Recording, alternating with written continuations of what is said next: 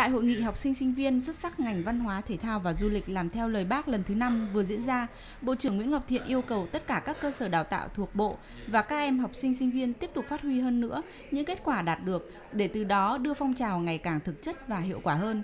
Ngay sau hội nghị này, các trường phải phổ biến rộng rãi những giao ước đã ký về thực hiện phong trào thi đua làm theo lời bác giai đoạn 2017-2019. Qua 2 năm triển khai phong trào thi đua làm theo lời bác giai đoạn 2015-2017, 19 trên 26 cơ sở đào tạo đã tổ chức triển khai phong trào với nhiều hoạt động cụ thể, thiết thực và có ý nghĩa. Nhờ đó, việc học tập, rèn luyện chuyên môn của học sinh, sinh viên đã có những chuyển biến rõ rệt. Cụ thể, tỷ lệ học sinh sinh viên tốt nghiệp đạt trên 90%, hơn 50 học sinh sinh viên đạt lại khá và giỏi. Số sinh viên ra trường có việc làm phù hợp chiếm gần 70%.